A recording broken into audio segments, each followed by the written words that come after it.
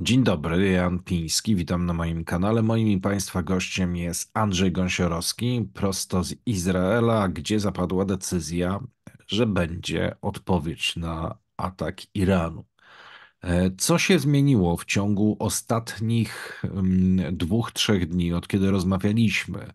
E, Iran zaatakował, e, bardzo niewiele tych rakiet przedostało się. O tym, co one zrobiły, to praktycznie nikt nic nie wie, tak? E, Natomiast no, zapadła decyzja, że no, nie można zostawić tego w taki sposób, żeby Iran e, sobie wymierzał karę Izraelowi, czyli będzie odwet, ale nie wiadomo jeszcze jak mocny, tak? Co was, co wiemy? No, zacznijmy od końca, od najnowszych informacji, które tutaj spływają w, strumieniem, że ciężko nadążyć za ich obróbką. Y, Zaczęło się od tego, że dzisiaj y, przewodniczący Komisji Spraw Zagranicznych i Bezpieczeństwa Juli Edelstein y, stwierdził, bo w zasadzie to, co oni ogłaszają oficjalnie, to ma bardzo duże znaczenie, że izraelska reakcja na irański atak może być inna i na pewno będzie bolesna, będzie uderzenie. Chwilę później dostaliśmy komunikat, że izraelska inwazja lądowa na Rafa, czyli ta, ta, ten ostatni bastion Hamasu, która no, wisi w powietrzu, Izrael oświadczył, że y, inwazja lądowa na miasto Rafa w południowej strefie gazy została opóźniona y, aż do czasu zakończenia izraelskiej reakcji przeciwko Iranowi. To takie było pierwsze, że coś się będzie działo. Powołano w tym nowe jednostki. W ciągu dwóch dni przetasowano żołnierzy z innych jednostek, stworzono jak gdyby nową do, do tych zadań, które ich czeka, bo to już jest jak gdyby inny etap, inna faza walki w strefie gazy. E, I następnie, godzinę później, w dniu dzisiejszym, Bibi Netanyahu, nasz premier, poprosił o plan mm, służb, znaczy sił zbrojnych dotyczących ataków w Iranie. Okej, okay. no to poprosił, być może teoretycznie. No i już się w tym momencie za dwie godziny pokazała informacja, że było posiedzenie y, i wojsko przedstawiło premierowi jego członkom gabinetu wojenny plan ataku w Iranie. Plan przedstawiony był przez, yy, przez yy, szefa służb i mógł być do natychmiastowego wdrożenia i wystarczyła od tego momentu decyzja premiera, żeby nacisnąć guzik. Tak to tutaj działa że jest komitet wojenny, w, którym, w skład którego wchodzi premier też. To, to jest biuro premiera, które ma swoje instytucje. To nie jest tak jak w Polsce. Biuro premiera to jest sekretarka, kierowca, zastępcy sekretarze, tylko to są podlega biuru, do biura premiera na przykład Mossad, bezpośrednim zwierzchnikiem jest premier, albo Sayeret Matkal, czyli te siły uderzeniowe. Czyli e, zatwierdzono premierowi jako szefowi głównemu państwa, w tym momencie naczelnemu wodzowi, plan, który mógł już od tego momentu być wdrożony natychmiastowo i wystarczyła jego decyzja. E, co robi premier? Chwilę później zaprasza mm, znaczy opozycję. On tego nie musi robić y, zgodnie z regułami gry, ale ich zaprasza, informuje e, i oczywiście jest jednomyślność w tej sprawie, że jest potwierdzenie na działania i plan, który został przedstawiony. No i wtedy pojawia się komunikat oficjalny dla nas wszystkich, że jesteśmy w stanie poważnie uszkodzić, zaszkodzić wewnętrzne, wewnętrznym terytorium Iranu. Irańska obrona nie będzie w stanie nas pokonać. To, to jest oświadczenie szefa sztabu y, wojsk Izraela, a reżim irański zrozumie siłę y, wojsk i siłę państwa Izraela. Następny komunikat, atak jest konieczny, aby odstraszyć naszych wrogów, aby zrozumieli, że ci, którzy będą próbowali zniszczyć Izrael, mm, znajdą się w bardzo trudnym położeniu. I najważniejsza informacja w kontekście jak gdyby międzynarodowym, że e, IDF nie potrzebuje, IDF, czyli Armia Izraelska, nie potrzebuje pomocy innych armii, ale nie ma wątpliwości, że po takiej operacji w głębi Iranu powstanie koalicja przeciwko terrorystycznemu reżimowi i zdusi go również ekonomicznie. Więc tu mamy jakiś ślad tego, co nas czeka, że to będzie operacja w głębi Iranu, e, bez udziału innych armii i że później koalicja będzie dusić ekonomicznie ten Iran. Więc tak, y, Zebrała się kilka godzin później Rada Wojenna i to było w, no, 2-3 godziny temu. Rada Wojenna autoryzowała atak, plan ataku na Iran, ale taki, który nie wywoła wojny regionalnej. Następna informacja, że to będzie jakiś taki atak, że no, nie wzbudzi kontrowersji całego świata, więc ja tutaj mógłbym wyczytać, że nie będzie użyta broń atomowa, tak? No bo w kontekście użycia broni atomowej to raczej to by nie wchodziło w rachubę, żeby świat tak spokojnie sobie przyglądał się temu. I chwilę temu wyczytałem, że y, premier Izraela prosi wojsko o listę opcji celów dla irańskiego ataku. To już jest, to są oficjalne komunikaty, które tu, tu idą na, na, na tak zwanych y, wojskowych czy militarnych y, podglądach. Według raportu wśród tych celów znajduje się irańska placówka irańskie placówki w Teheranie, ale to y, Gwardii Republikańskiej, oczywiście chodzi o rząd, również cyberatak. Tyle na razie wiemy z tego, co nam pozwolono wiedzieć. Tak? No i cóż, y, przyjrzyjmy się teraz do y, tego, do, do tego całego planu działania, co to mogłoby oznaczać i jaki to ma kontekst na za moment. I ostatnie informacje, które przychodzą z całego świata, z różnych nieoficjalnych, ale bardzo wiarygodnych źródeł, że chyba to nastąpi, jak to im powiedziano, no chyba to będzie już rano. Więc y, ja nie jakby tutaj wylądowała mi na głowie w domu, bo już widziałem, co oni tam mają. Y, pocisk balistyczny wielkości dwóch ciężarówek, bo to miało 25 metrów, było wyższe od człowieka. Y, na portalach można już kupić w, w, na eBayu, bo Jordańczycy sprzedają. Ogłosili, że używana, ale prawie jak nowa rakieta irańska, która tam spadła, za 2,5 tysiąca dolarów można kupić. No. Także jakby mi to spadło na mm, głowę i byśmy się już więcej nie usłyszeli, no to y, tyle informacji zdołałem Ci przekazać z tego, co się No nie tylko mi, tylko też nam. Nie, myślę, że tak źle nie będzie. Zresztą sam wspominałeś, że masz skron. No wiesz, jak widziałem to, to, to, tą kupę złomu, to, to nie sądzę, żeby mi ten schron pomógł w czymkolwiek po prostu. Także lej będzie duży i głęboki, siła rażenia tego jest ogromna. Więc dopiero y, teraz. No ale, ale zostało, ale zostało zastrzelone. Ale zostało zastrzelone. Y, to znaczy, wszystkie te y, manewrujące pociski tak. Wszystkie drony oczywiście tak. W ogóle lotnicy z NATO mieli fajną zabawę. Widziałem na wideo, że po prostu zrobili sobie poligon, jak się strzela do prawdziwych irańskich dronów akcji bojowej, bo oni już tego nie, nie, nie, nie ćwiczyli strasznie się denerwowali, że one tak wolno latają, że musieli hamować i praktycznie na wstecznym biegu, żeby się ustawić do strzału. Więc y, te drony to nie jest problem. Chyba, że zostaną wystrzelone z Libanu, to wtedy już jest y, zupełnie inna sprawa. Problemem były rakiety balistyczne, których wystrzelono y, z tego, co tutaj czytałem, 130, ale dobra informacja, 50 to były nie wypały, które, które po prostu spadły na głowę przy wystrzeleniu albo trochę dalej. Więc ta skuteczność jest słaba, no ale 50 y, zostało wyniesionych w atmosferę. Jest to ciężka, duża broń dużego kalibru, 500 km w górę i potem szybując w dół yy, no, atakuje cele. 9 się przebiło. Także 9 uderzyło w pasy startowe na lotniskach wojskowych na Negewie. Nie wyrządziły wprawdzie dużej, dużej szkody, no bo te leje to takie były na 2,5 metra, no ale mimo wszystko y, boli, że się przydarły. Także mm, a z drugiej strony to był największy atak w historii świata rakiet balistycznych jednorazowy.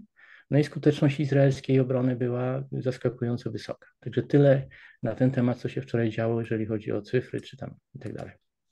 No właśnie, ale sytuacja jest taka, że Iran też zapowiedział, że jeżeli coś mu tam spadnie, no to on oczywiście znowu adekwatnie odpowie. Tak. No, no i pytanie jest takie, co mu, co mu zostało, co zostało Iranowi, e, skoro to, to, co tak użył, to miało być No niektórzy twierdzą, że mm, Iranowi coś się udało osiągnąć, czego oczywiście Izrael nigdy nie przyzna. To jest takie, takie opowieści dziwnej treści. E, No, pytanie jest takie, co, co może nastąpić? Czy gdzieś jest jakaś analiza się pojawiła? Jaka może być odpowiedź e, po tym, po tym co zrobi Izrael? Mhm. Więc tak, Najwyższa Rada Bezpieczeństwa Narodowego Iranu na początku, y, to już było wczoraj, zatwierdziła dziesięciokrotne zwiększenie skali ataków na Izrael, jeżeli Izrael zdecyduje się na dalszą eskalację sytuacji. Co to oznacza, że oni przejdą z jakości w ilość. Czyli teraz wysłali 330 obiektów, no to wyślą 3300. A to już jest zupełnie inna rozmowa. I yy, no, już wiedzą, że drony nie dolecą, y, y, manewrujące rakiety też nie dolecą, więc tak można by było przypuszczać, że uruchomią swoje, swoje proxy, czyli, e, czyli, czyli Hezbollah w Libanie i mają przez granicę i tu czas reakcji będzie krótki. No jak tam poleci 3000 rakiet, to powiem szczerze, że jeszcze takiego, e, takiej salwy rzeczywiście nikt nie, nie zaliczył i to jest jak gdyby pierwsza informacja z ich strony. Następnie, mm, następnie y, w parlamencie stwierdzono, że w odpowiedzi na izraelski atak jesteśmy gotowi użyć broni, której wcześniej nie używaliśmy. To jest taka niespodzianka, co to znaczy, że, mm, że może być użyte. No, w każdym razie to, co, to, co już było w, w, wykorzystane, czyli drony, wiadomo, że Y, to nie jest rozwiązanie na Izrael. Y, jeżeli chodzi o atak y, z terytorium Iranu, te wszystkie rakiety typu właśnie cruzy, no to okej, okay, to Jemen może strzelać i może coś tam im się uda trafić, ale balistyczne rakiety to jest jakiś taki element, który no, należy wziąć pod uwagę i i salwę y, dosyć intensywną z y, Hezbollah z Libanu. Także to tyle wiemy. Czy jakieś pomysły, jak sobie poradzić? Mówiłeś właśnie o tym, o tym Libanie, e, o, czy jest jakiś pomysł na retorsję w tamtym kierunku, czy też e, wszystkie, wszystkie retorsje będą po prostu do właściciela kierowane, czyli do, do Iranu? Mi się wydaje, że tym razem y, bardzo, bardzo mm, istotny będzie element powstania nowej koalicji, bo do momentu ataku Iranu na Izrael, Izrael był agresorem. Zaatakował Gazę, strefę gazy. No chyba jednak nie, no chyba jednak nie tyle zaatakował, co, nie, ale, co powiedział na atak. No, tak, ale ja mówię o oficjalnych przekazach Narody Zjednoczone, Unia Europejska, nawet Joe Biden, ok, dajcie spokój, wycofajcie się i tak dalej. E, no i później e, pozbawił życia y, sześciu, siedmiu najwyższych dowódców najbardziej elitarnych jednostek wywiadu, bo to KUC to jest wywiad, to jest tak jak połączenie CIA i NSA w, w, w Iranie, pozbawił po prostu, dokonał aktu, aktu zemsty, ataku, zamordował tych ludzi. Ale od momentu, kiedy Iran y, zrobił to, co zrobił, czyli 330 obiektów latających, wypełnionych materiałem wybuchowym, dzisiaj już wiemy, że tego było ponad 60 ton, wysłał w kierunku Izraela, no to to już jest zupełnie inna sprawa. Izrael od tego momentu ma status pokrzywdzonego. I co się dzieje? Powstała w ciągu jednego dnia niesamowita koalicja. Z jednej strony to jest Iran, Rosja, która oświadczyła, że jeżeli Stany zaatakują Iran, to się włączą. Chiny, które po cichu y, wspierają oczywiście Syria, Liban i Irak. I proxys, czyli Hamas, Dżihad, y, Hezbollah, Houthis i 30 Y, ponad różnych organizacji terrorystycznych, od pięcioosobowych komórek do tysięcy ludzi. To jest jedna strona. A z drugiej strony jest Izrael, do którego się militarnie przyłączyły Stany, Kanada, Wielka Brytania, Niemcy i Francja. I teraz y, dała wsparcie mm, Saudyjska Arabia, Emiraty, Jordania. I to już wychodzi oficjalnie. Iran dzisiaj y, po prostu próbował y, komentować te fakty. Zostali jego ambasadorowie wezwani do ministra spraw zagranicznych i w Saudyjskiej Arabii, i w Jordanii i otrzymali krótką notę, że wszystko, co lata nad głową y, w Saudyjskiej Arabii i w Jordanii, nieautoryzowane jest do strącenia. Wszystko jedno, skąd to przyleciało i temat został zamknięty. Natomiast czego się nie mówiło, bardzo dużą rolę w tym całym przygotowaniu i zdobyciu informacji o tym, co będzie, jak to się będzie działo i tak dalej, wzięły również Egipt, Oman, Bahrain, Sudan, Maroko, uwaga, Indonezja oraz Azerbejdżan. Indonezja, Więc, czy największy kraj muzułmański? Tak, i z Indonezją tutaj jest bardzo ciekawa rzecz, bo yy, to wszystkim umknęło, Y, uwadze, ale Indonezja tydzień wcześniej podjęła decyzję o normalizacji stosunków z Izraelem w zamian za wsparcie Izraela do jej wejścia do Organizacji Wspólnoty Gospodarczej i Rozwoju. No więc, yy, czyli. OECD. To, proszę? Czyli OECD. Tak, OECD i tam jest 38 wiodących gospodarek świata i E, no co jest dziwne, że e, Izrael skutecznie blokował największe muzułmańskie państwo, żeby tam weszło i w zamian za to, że nie będzie blokował, że będzie wspierał, doszło do normalizacji. I e, po trzech miesiącach intensywnych negocjacji zdecydowała się na normalizację i uwaga, pośrednikiem była Arabia Saudyjska. I teraz wybuchła wojna 7 października z Hamasem. Trochę się to przyblokowało, ale Indonezja wykorzystała ten fakt, że przyleci po raz pierwszy w historii samolotem ich przedstawiciel, przywiezie trochę pomocy humanitarnej dla Gazy i po cichu się stało. Indonezja jest partnerem e, Izraela. Czyli mamy bardzo, rzeczywiście tym... bardzo, mamy bardzo taką nie, nie, niestandardową, nie, niespodziewaną koalicję. Tak. E, tak jak jest tam zapowiedź tej opozycji, która będzie miała zrównać z ziemią reżim, nie dysponujemy pewnie wiarygodnymi danymi o tej popularności tego reżimu. Ja szacowałem 25 do 30%, to są moim zdaniem maksymalne szacunki, bo takie one są. W tych wszystkich autokracjach tyle mniej więcej osób uchodzi za beneficjentów e, systemu. Więc raczej bym podejrzewał, że w Iranie może być mniej niż więcej, bo no mimo wszystko jest to dosyć opresyjna dyktatura. Wieszanie ludzi w centrum miasta to no jednak mimo wszystko to taki dosyć krwawy, yy, nie chciałbym użyć po, po słowa sport, ale no to jednak trochę razi, żeby tak powiedzieć, ludzi cywilizowanych. No i teraz pytanie, yy, czy to może być wstępie, bo jak rozmawialiśmy ostatnio, powiedziałeś, że yy, w Izraelu jest duża, duże nadzieje są związane z powrotem Trumpa, który wydaje się być przesądzony. E, wyborach na jesieni i że mogą chcieć czekać z takimi mocnymi rozstrzygnięciami właśnie na Trumpa, który da przyzwolenie na wymianę rządu ajatolachów. No pytanie takie, czy takie przyzwolenie, co zrobił wówczas Chiny, Rosja, no, którym się bardzo by nie uśmiechało, żeby mm, sojusznik, no szczególnie Rosja na przykład, która no przecież bardzo skorzystała na technologii, e, którą przekazały im, przekazał im Iran, jeżeli chodzi o wojnę na Ukrainie, czyli cała technologia dronów, to wszystko przecież, co teraz lata na Ukrainie, to w dużej części to jest, są pomysły irańskie. E, czy, czy, te, czy to jest realny scenariusz, e, taka wymiana? Czy, czy, mogą, czy, czy będą mhm. jednak czekać? Więc tak. Y jak już cytowaliśmy Klausewica, że wojna jest jedynie przedłużeniem polityki realizowanej innymi środkami, albo też jest aktem stosunków między ludźmi, czyli jest zjawiskiem życia społecznego.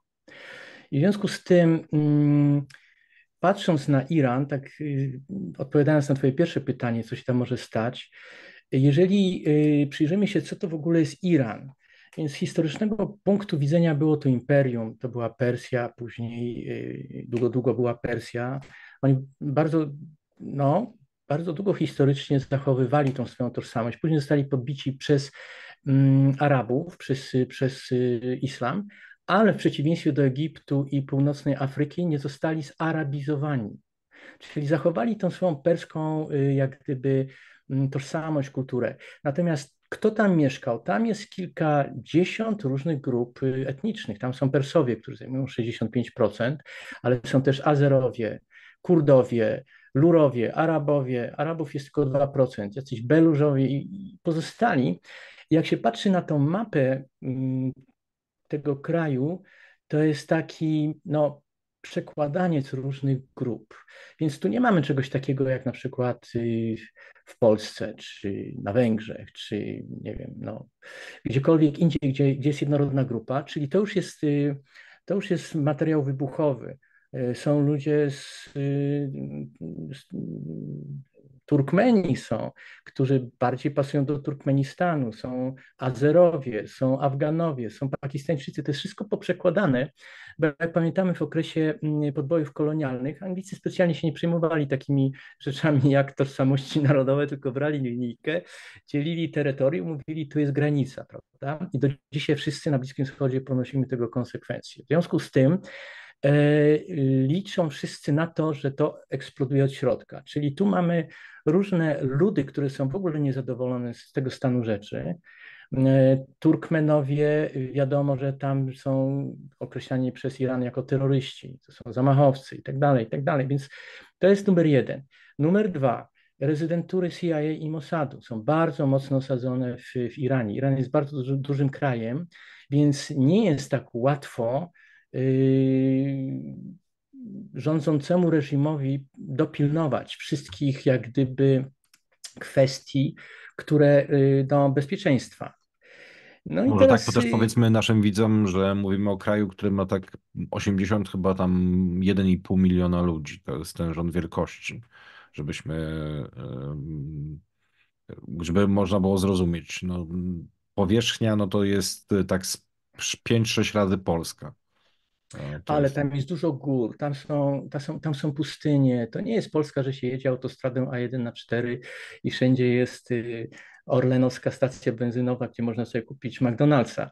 Y, to jest, to jest kraj, który jest przedłużeniem Afganistanu, Pakistanu, Turkmenistanu. To jest dzikość terytorialna.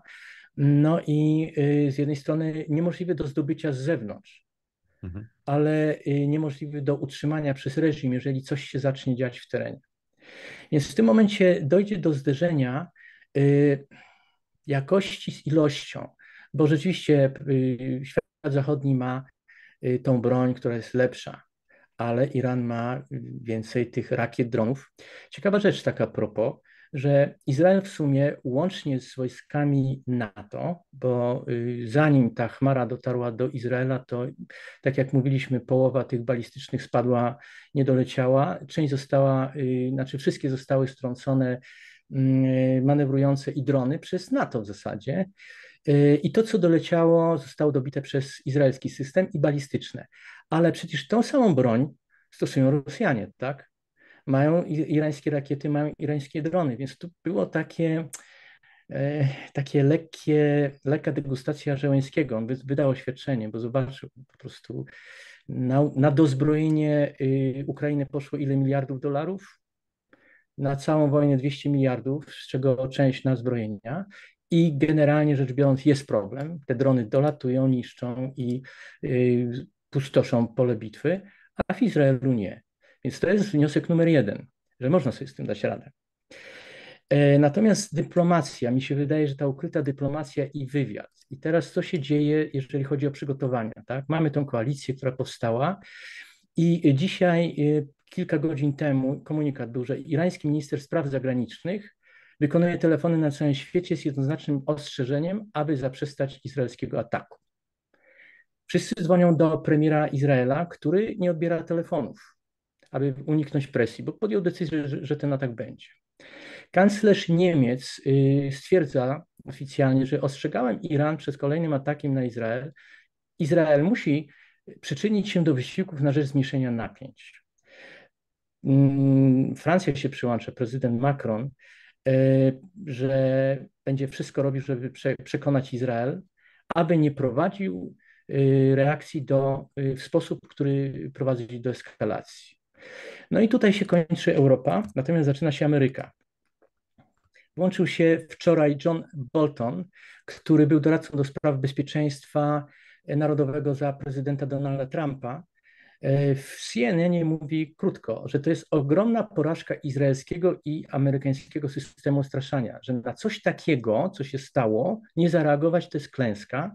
Za moment się włącza Mike Pompeo, który był no, szefem CIA. sekretarzem tak, mówi, że działania Iranu należy ocenić nie tylko na podstawie ich wyników, ale także ich zamiarów, którymi było zniszczenie Izraela.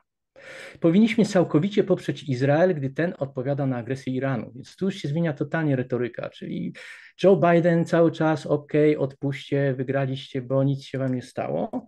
Natomiast y, ludzie, którzy są jak gdyby pierwszoliniowcy, mówią, no nie, tak nie może być, to nie jest doktryna, która to jest raz i wzbudza szacunek, bo pokażecie, że jesteście słabi i będzie to samo. I co się dzisiaj stało półtorej godziny temu? I to jest chyba najważniejsze z tych wszystkich jakichś oświadczeń. Przywódca większości y, w Izbie Reprezentantów wyraża poparcie dla wszelkich decyzji Izraela podjętych po ataku na Iran. Wszelkich. Zadzwonił dzisiaj wieczorem do premiera Bibi Netanyahu, wyraził swoją akceptację swoją i y, Izby, bo on dzwonił to w, w imieniu jako urzędnik, prawda? Mm, I premier podziękował, Y, za wsparcie i dał jasno do zrozumienia, że Izrael zrobi wszystko, co konieczne, aby się bronić. Czyli y, no, generalnie się już obronił, prawda? Bo był atak. Iran stwierdził na forum Narodów Zjednoczonych po dwóch i pół godzinach chyba, że dziękuję, jest usatysfakcjonowany. Paradoks był taki, że oni już odwołali wojnę, a jeszcze te drony i pociski leciały i wszyscy się zastanawiali, co teraz, jak trafią. Ale w każdym razie oni już zamknęli temat, że to była, prawda, pokazowa akcja. Natomiast y, szef Izby Reprezentantów poinformował premiera o swojej inicjatywie polegającej na przedłożeniu w kongresie w nadchodzących dniach szeregu rezolucji przeciwko Iranowi na korzyść Izraela. Więc to już idziemy na, mm, na bardzo. Nie, ale to jest, ale to powiedziałeś kluczową rzecz, że pojawiła się po prostu informacja E, pojawiła się mm, informacja, że zmienia się narracja, że Izrael musi odpowiedzieć, że nie może być tak, że jakiś bandzior po prostu sobie ogłasza, że wywiera sobie retorsję i on ogłasza zakończenie sprawy, że to tak nie może być. Przy okazji skoryguje swój błąd. E, Iran ma prawie 89 milionów ludzi. Natomiast no, na moje usprawiedliwienie mówiłem, że mówiłem, że chyba szybko im rośnie ten przyrost naturalny. Mówiłem z pamięci, czyli, czyli jak z głowy, czyli z niczego. Więc Bank Światowy podaje, że było 88,5 miliona w 2022 roku.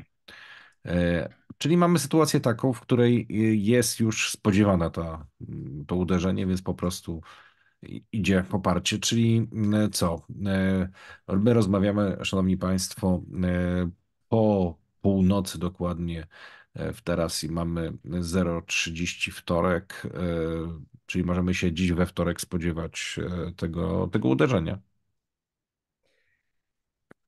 No chyba tak i nie tylko chyba my, bo tutaj znowu czytam, że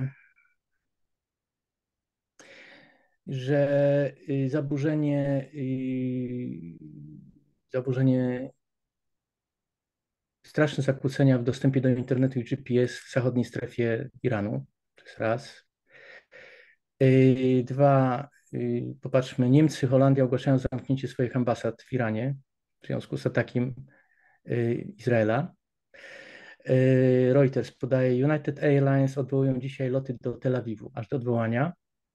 Siły powietrzne Stanów Zjednoczonych podniosły najwyższy poziom alarmowy we wszystkich bazach na, na Bliskim Wschodzie. No to to już jest konkret. I teraz, co się jeszcze dzieje w Iranie? Yy, ogłaszają najwyższy poziom alertu numer 3, yy, ograniczenie lotów yy, irańskiej gwardii rewolucyjnej na zachodzie, północnym zachodzie i południowym zachodzie Iranu, czyli wszędzie oprócz wschodu. Opozycja, to jest ciekawe i miłe, Irańczycy, na, na, to dzisiaj na wszystkich portalach było takie piękne, mm, wysłałem tobie, Mhm. y, w taki mem, dwie dłonie na jednej y, spięte w ten sposób i na jednej flaga izraelska, druga irańska i napisane jesteśmy Iranem, a nie Republiką Islamską. Tak, to, widać, widać było, widać, widać tam jest e, no, to, jest tak, to tak jak ty podkreśliłeś, ten, ta struktura etniczna Iranu, ona jest, e, żeby Polacy dobrze zrozumieli, to e, Persów jest tylu mniej więcej, ilu przed wojną było Polaków e, w II Rzecz, Rzeczpospolitej. I ten konglomerat chyba jeszcze bardziej utrudnia im, no bo oprócz tego, że nie każdy jest fanatycznym muzułmaninem, który uważa, że powinni E, że powinna istnieć teokracja, no bo tak, tak, to jest jakiś taki reżim fundamentalistyczny, gdzie władza należy do, do duchownych, to oprócz tego e, mają te tarcia narodowościowe, nad którymi nie panują. I tutaj no mamy Kurdów, którzy, którzy szukają tego swojego własnego państwa na tym całym Bliskim Wschodzie. Mamy Azerów, e, którzy, którzy mają to państwo azerskie. To, to, to jest rzeczywiście to jest, to, to jest, jest problem. Jak się zacznie tam się jakaś ruchawka, to, to rzeczywiście może być e, ciekawie. Ciekawe to już takie ostatnie tylko pytanie, e, czy, czy to jest te, czy ten tekst, który, o którym powiedziałeś, czy to jest adresowane po prostu, że oni wiedzą, że tam jest jakaś opozycja, która się po prostu szykuje do tego, e, żeby wstrząsnąć, bo, bo co może zrobić, e, jak byłaby lądowa interwencja, no to mogą mówić Chiny i może mówić Rosja o jakiejś, o jakiejś wojnie, ale jeżeli nastąpi atak od wewnątrz na osłabiony reżim, będzie bardzo trudno tutaj coś chyba z tym zrobić i wesprzeć. I to znaczy tak, y, Lądowo się nie da tego kraju zdobyć, tak jak się nie da Rosji zdobyć, Chin, Kanady. Jest to niemożliwe. Natomiast zniszczyć jego całą infrastrukturę, mm, zobaczymy, czas pokaże, co się będzie działo, ale, ale zapędy są takie, y, w takim naj, najcięższym, najtwardszym y, wydaniu, że to będą, tak jak mówiliśmy wcześniej, to będą y, tamy, więc, więc konkretna infrastruktura, to będą y, elektrownie, to będzie mm, sieć rafinerii. Tylko z wypowiedzi wojskowych Izraela wynika, że to taka będzie elastyczna y, wojna, więc albo y, cybernetyczny atak. A propos, w 13-14, jak Iran zaatakował Izrael, to na początku była wojna cybernetyczna. Hakerzy próbowali przejąć przejąć y, kontrolę nad radarami izraelskimi, żeby wyłapać współrzędne, co im się nie udało, ale było to bardzo no, intensywne. Y, hakerzy irańscy są dobrzy i wzbudzają szacunek w Izraelu. W związku z tym to była pierwsza gdyby mm, walka. Więc nie broń atomowa, nie uderzenia termobaryczne, nie zalewanie rzek poprzez wysadzanie tam, nie wysadzanie mm, rafinerii, bo to jest brutalna rzecz. I po czymś takim wiadomo, że ktoś musi oddać. Ale jakaś elegancka wojna cybernetyczna, intelektualna, plus mój ulubiony y, temat typu bomba elektromagnetyczna, mogłaby spowodować y, ciekawą sytuację, że po prostu Y, wyłączenie pewnych struktur dowodzenia y, tych tej całej gwardii republikańskiej dałoby wolną rękę mm, milionom ludzi, którzy myślą inaczej, żeby mm, przeważyli szale na, swoje, na swoją stronę, przynajmniej w tych okręgach, gdzie będą silni. Tak jak to było w Syrii w pewnym momencie, że już opozycja w zasadzie wyparła siły y, reżimu i gdyby nie Rosjanie, którzy rozpoczęli naloty dywanowe na kurdyjskie i w ogóle opozycyjne miasta, to by wygrali. No to tyle na ten temat. A jeszcze tylko na koniec, szanowni Państwo, polecę historię bez cenzury w dobrych kioskach, w dobrych empikach, także na stronie capitalbook.com.pl w sprzedaży wysyłkowej. I tu polecam moje teksty o geniuszu Piłsudskiego, którego nie było, jeżeli chodzi o wojskowy. Był niezłym terrorystą, niezłym piarowcem, ale wojskowym był naprawdę dennym. E, Sam się mianował marszałkiem dnia 19 marca 1920 roku, kiedy przyszło paru kumpli i powiedziało: Józek, powinieneś być marszałkiem, bo jesteś najlepszy z nas. I on to przyznał. I to jest naprawdę fascynujące, że ten mit wodza, który się znał na wojsku, cały czas jest pokutuje w Polsce. No i oprócz tego drugi o bankowcach, o tym, czy to prawda, że to bankowcy, sektor bankowy mordował prezydentów Stanów Zjednoczonych. Przeczytajcie i ocencie sami. Szanowni Państwo, Państwu i gościowi mówię do zobaczenia i patrzymy, patrzymy jak, jak będzie dru- drugi, nie, drugi, od, drugi odcinek tego, tego, co się dzieje, bo potem będzie pytanie w ogóle, czy będzie trzeci odcinek, czy, czy Iran będzie miał czym odpowiedzieć. Ale o tym to już następnym razem.